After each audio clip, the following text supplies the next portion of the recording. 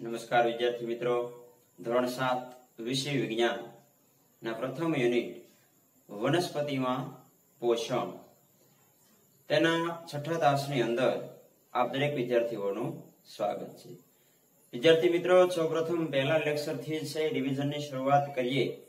કે મિત્રો, પ્રથમ લેક્ચરની અંદર છે, આપણે સૌપ્રથમ પોષણની વ્યાખ્યા છે એ જોઈ ત્યારબાદ એવું પણ આપણે જોયું હતું કે દરેક સજીવ છે એને ખોરાકની આવશ્યકતા રહેલી છે.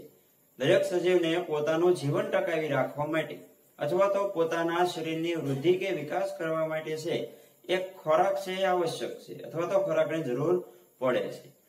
પરંતુ બધા જ સજીવો છે એને સમાન પ્રકારના ખોરાકની જરૂર પડે એ વસ્તુ શક્ય નથી.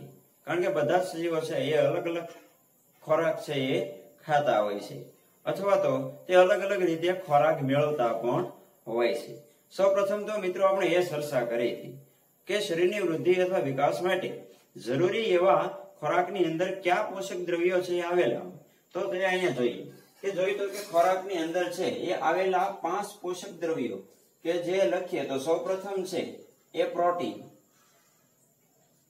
ત્યારબાદ છે એ જોઈએ તો ચરબી ત્યારબાદ મિત્રો વિટામિન. ત્યાર પછી કાર્બોદિત.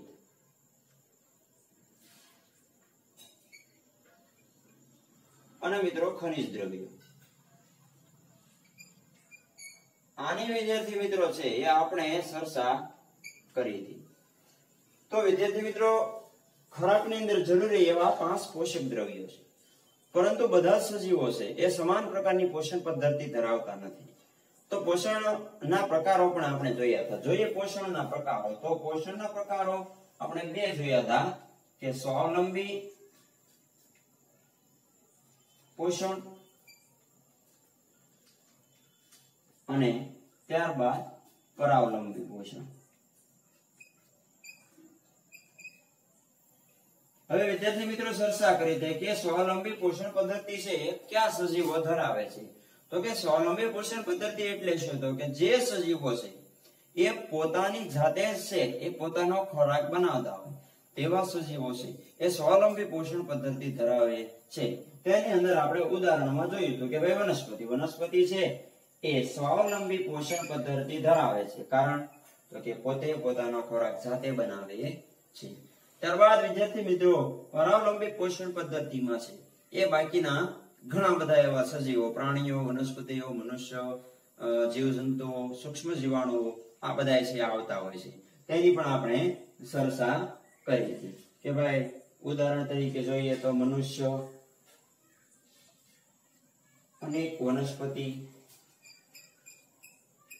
મિત્રો, બધી જ વનસ્પતિની વાત નથી કરતા બરાબર અનેક વનસ્પતિની વાત છે. વનસ્પતિમાં અમુક અપવાદ પણ છે. કે જે સ્વાવલંબી અને પરાવલંબી પોષણ પદ્ધતિ સિવાયની પણ છે, એ પદ્ધતિ ધરાવે છે. એની પણ ચર્ચા કરીશું. આ ઉપરાંત પ્રાણીઓ, સૂક્ષ્મ જીવાણુઓ,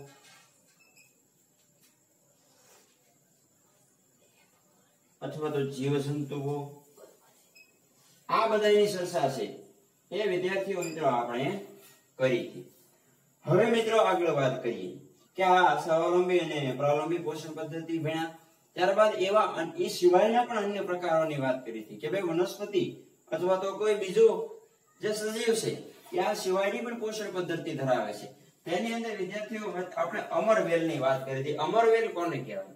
તો કે તમે કોઈ પણ વૃક્ષની માથે જે પીળી, દોરી જેવી રચના છે, એ વિકળાયેલી જોઈએ છે મિત્રો, એને કહેવામાં આવે છે અમરવેલ. તો અમરવેલ છે. એને મિત્રો પર્ણ હોતા નથી. હવે પર્ણ નથી એટલે મિત્રો તેની અંદર હરિદ્રવ્ય નથી. અને હરિદ્રવ્ય પર્ણની અંદર ન હોય એટલે તે જે વનસ્પતિ છે, એ પ્રકાશ સંશ્લેષણની ક્રિયા છે, કરી શકશે નહીં. કારણ કે પ્રકાશ શોષવા માટે છે હરિદ્રવ્યની હાજરી વનસ્પતિની અંદર હોવી જરૂરી છે. તો મિત્રો, અમરવેલ જે છે, એ પ્રકાશ સંશ્લેષણની ક્રિયા કરતી નથી. તો તે પોતાનો ખોરાક કઈ રીતે મેળવે છે? તો કે જે અમરવેલ છે બીજી કોઈ પણ, એટલે કે જે તે વનસ્પતિ ઉપર વીંટળાયેલી હોય છે. એ વનસ્પતિ કે જે અમરવેલના યજમાન તરીકે બને છે. અને તે વનસ્પતિમાંથી છે અમરવેલ પોતાનો ખોરાક છે એ મેળવે છે. તો મિત્રો, વનસ્પતિ વનસ્પતિ ઉપર પણ આધાર રાખે છે. સૌપ્રથમ પહેલા અહીંયા આપણે એવું જોઈએ કે ભાઈ વનસ્પતિ છે, એ પોતાની જાતે ખોરાક બનાવે છે. પરંતુ આ જે વનસ્પતિ છે, મિત્રો, પોતાની જાતે ખોરાક બનાવતી નથી. બીજા ઉપર આધાર રાખે છે. એટલે એને પ્રાવલંબી પોષણ પદ્ધતિ છે, એનું ઉદાહરણ બન્યું અથવા તો એ ધરાવે છે. ત્યારબાદ મિત્રો, એ કળશપર્ણ નામની વનસ્પતિ આપણે જોઈ હતી કળશપર્ણ. મિત્રો, આ વનસ્પતિ પણ અપવાદરૂપ છે કે તે પોતાની જાતે પણ ખોરાક બનાવતી નથી અને વનસ્પતિ ઉપર પણ આધાર નથી નાખતી તો પોતાનો ખોરાક શેમાંથી બનાવે છે? અથવા તો કોના ઉપર આધાર રાખે? તો મિત્રો, પ્રાણીઓ ઉપર અથવા તો જીવજંતુઓ ઉપર. પોતાના ખોરાકનો આધાર છે, એ રાખે છે. એની પણ ચર્ચા કરી હતી કે ભાઈ, એક તેના પર્ણ છે, એ કળશ આકારની રચના બનાવે છે. તેની અંદર છે, એ વાળ જેવી રચના આવેલી હોય છે. ઉપર એક પર્ણમાંથી ઢાંકણા આકારનો પણ એક ભાગ બને છે. જીવજંતુ તેની અંદર પ્રવેશી જાય છે, એટલે ઢાંકણો બંધ થઈ જાય છે. અને પ્રવેશતાની સાથે છે વાળ જેવી રસની અંદર કીટક અથવા તો જીવજંતુ ફસાઈ જાય છે. અને એની અંદરથી છે એ ખોરાક છે વનસ્પતિ મેળવતી હોય છે. આ બધી સંસ્થા છે એ આપણે કરી હતી. તો વિદ્યાર્થી મિત્રો, આ સિવાયની પણ એક જે સજીવો છે જેને મૃતોપજીવી એવું છે નામ આપવામાં આવેલું છે. આજે મિત્રો આપણે મૃતોપજીવી વિશે વાત કરવાની છે. તો સારો મૃતોપજીવી વિશે છે એ આગળ ચર્ચા કરીએ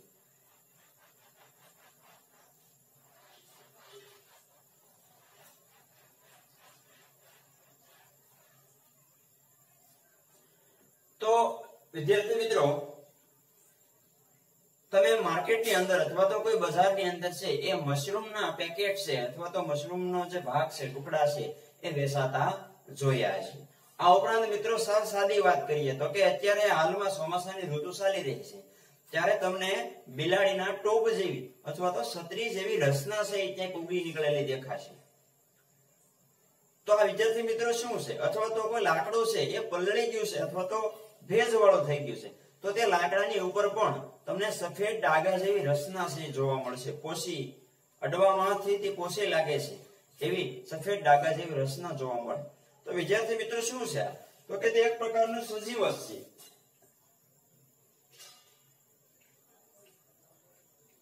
લાકડા પર ઉગી નીકળે ડાઘા જેવી રચના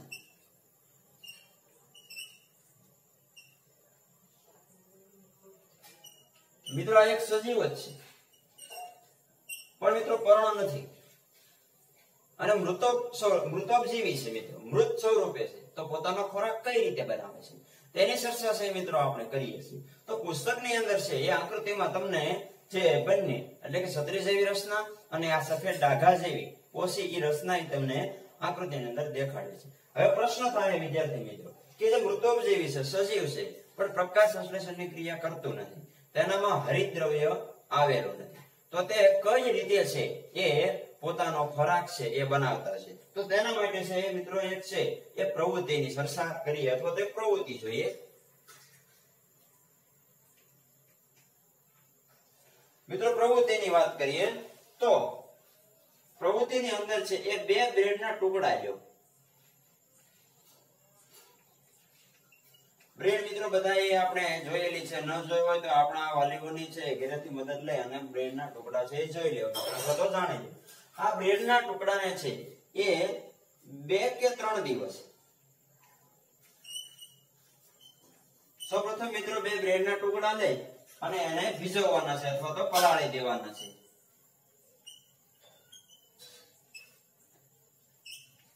તેને ભેજવી દીધા બાદ બે કે ત્રણ દિવસ કેવાની અંદર તો કે હુંફાળું વાતાવરણ. હુંફાળું વાતાવરણ કોને કહેશું? તો કે જ્યાં એકદમ ઠંડી વાળું વાતાવરણ ન હોય, થોડું થોડું તાપમાન ઉષ્ણ અથવા તો ગરમ હોય તેવી જગ્યા ઉપર છે એને હુંફાળો વાતાવરણ. અથવા તો એકદમ છે ઠંડી જગ્યાએ. બે કે ત્રણ દિવસ સુધી છે. એ રાખી મૂકવામાં જ્યાં સુધી તેના પર છે એ લીલા, સફેદ કે કથ્થાઈ રંગના ડાઘા ન દેખાય.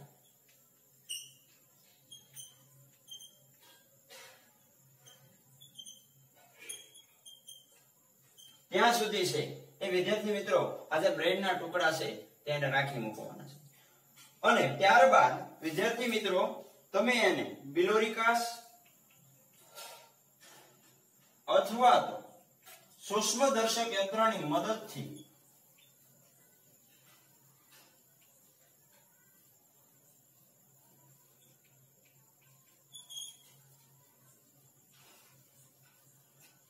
જોવાનો પ્રયત્ન કરો કે જે આ બ્રેડના ટુકડા પર છે, એ આ સફેદ કથ્થા અથવા તો લીલા રંગના જે ડાઘા છે, એને બિલોરિકાસ અથવા સૂક્ષ્મદર્શક યંત્રની મદદથી જોવાનો પ્રયત્ન કરો.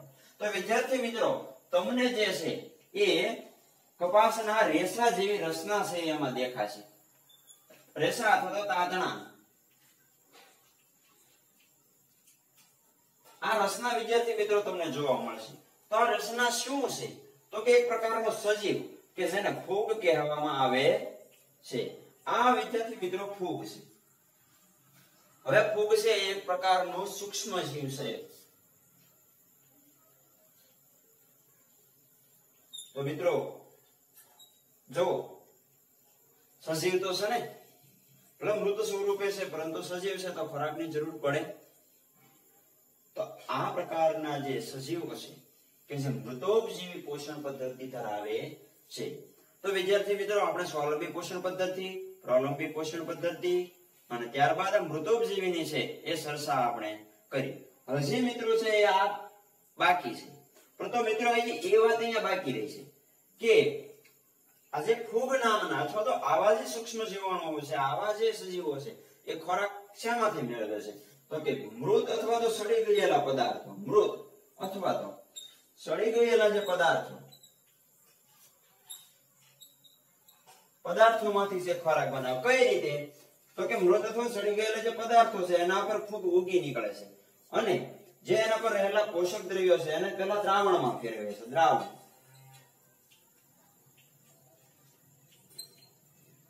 અને આ દ્રાવણમાં ફેરવા પછી આ દ્રાવણનો છે એ પોતાના ખોરાક તરીકે ઉપયોગ કરે, અથવા તો આ દ્રાવણમાંથી છે એ પોષણ મેળવે છે.